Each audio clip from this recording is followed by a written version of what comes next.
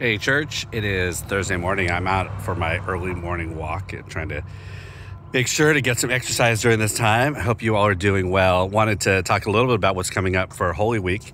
Uh, yes, we're still having it. Um, we are kind of settling into what is and I don't want to call it normal, but just a different way of being. We've transitioned to that time, and so we're beginning as a church to begin to think about um, some of the work we were doing beforehand.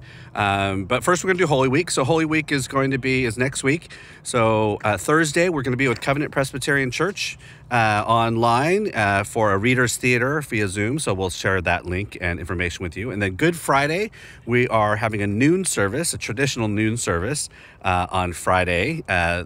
Um, the 10th. So we want to hope you can join us for that. We'll share that information. And then on Easter Sunday, we are gathering on Zoom as well. So that's an opportunity for you to invite friends to experience a little bit of what First Presbyterian Church is like.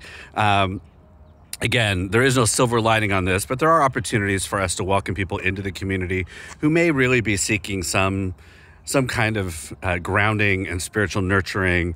And you know, I, First Pres is such a unique place, our focus on caring for one another and intellectual curiosity and our sense of justice.